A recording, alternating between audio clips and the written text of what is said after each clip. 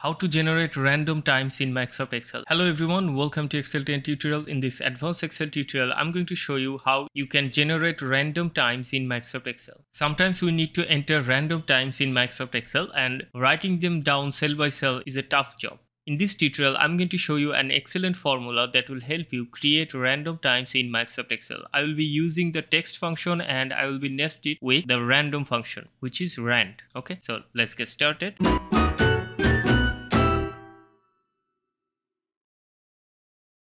Let's write here equal to and then write here text. If I double click here and here it's asking for a value and our value will come from the random function. So I'm going to write here rand double click the function and close parentheses as random function don't have any parameters. And now we are going to format that number in a specific way within double quotation.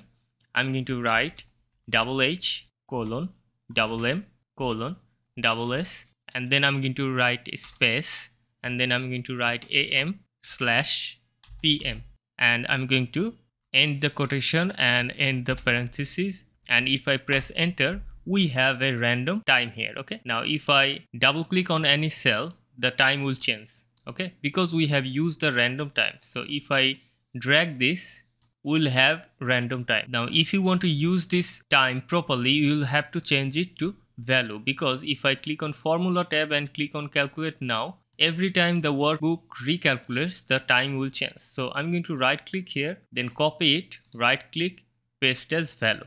Okay? Now our time is fixed. If I recalculate this worksheet it will not change. Okay?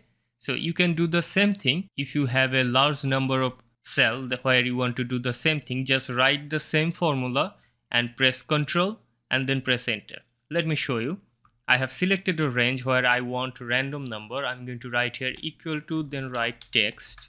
I'm going to write the same function here.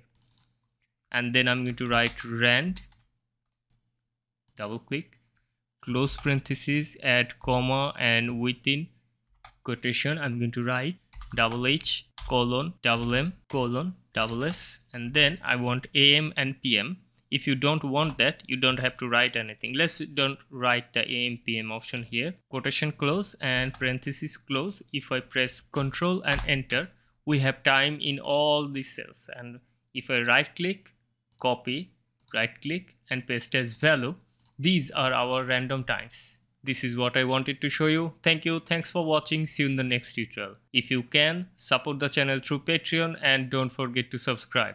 Thank you. Thanks for watching.